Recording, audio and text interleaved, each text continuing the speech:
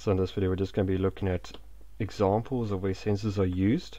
So let me know if you have any questions about what you see in this video. What do pressure sensors measure? So pressure sensors measure pressure, normally of a liquid or a gas.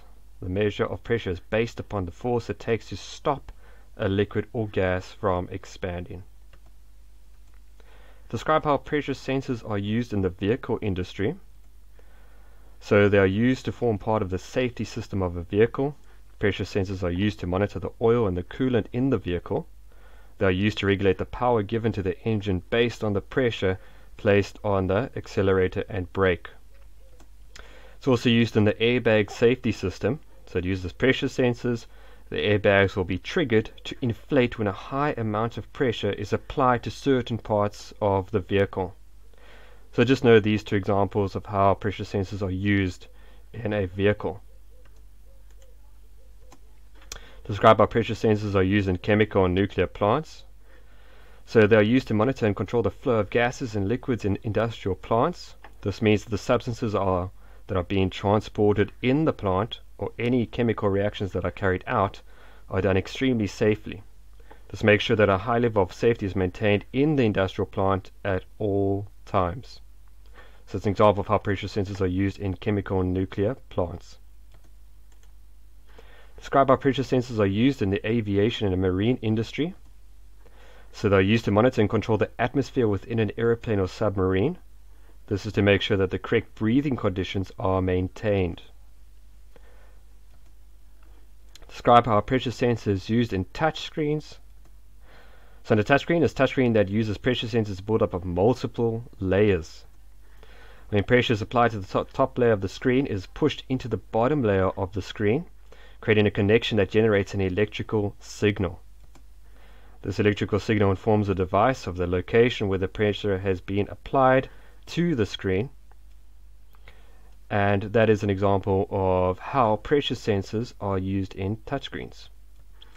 Describe how moisture and humidity sensors are used in meteorological stations.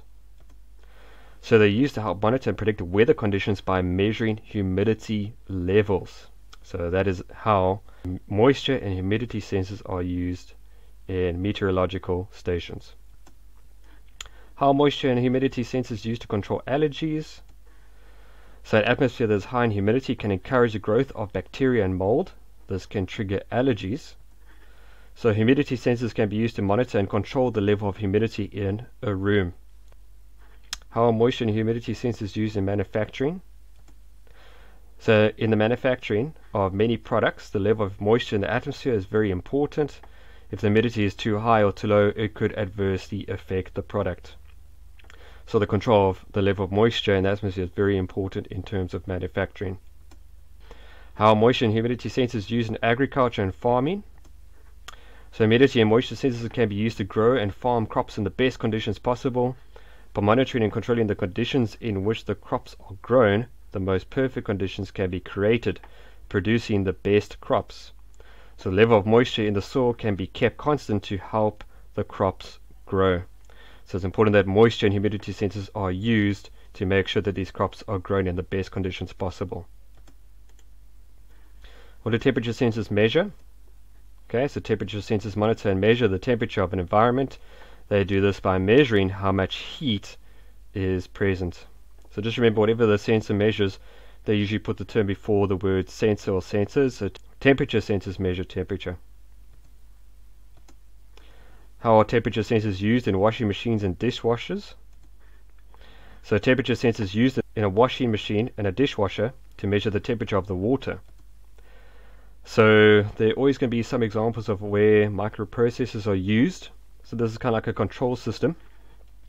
So a microprocessor in the washing machine or dishwasher will receive the data sent by the temperature sensor and can trigger an action to heat up or cool down the water if necessary. So it's controlling or trying to maintain the temperature at a certain point.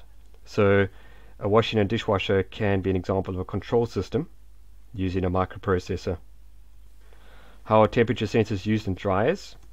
So temperature sensors used in dryer to measure the temperature of the hot air flowing into the dryer. A microprocessor in the dryer will receive the data sent by the temperature sensor and can trigger an action to heat up or cool down the air if necessary. How are temperature sensors used in refrigerators and freezers? So temperature sensors used in a refrigerator or freezer to measure the ambient temperature inside. A microprocessor in the refrigerator or freezer will receive the data sent by the temperature sensor and can trigger an action to heat up or cool down the air if necessary. So you can see it's again a bit repetitive.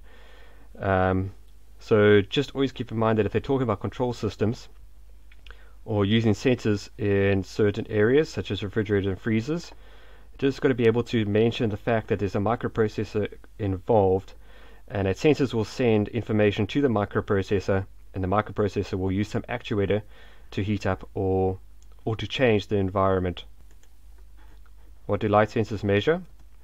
So light sensors monitor and measure light. What is a photoresistor?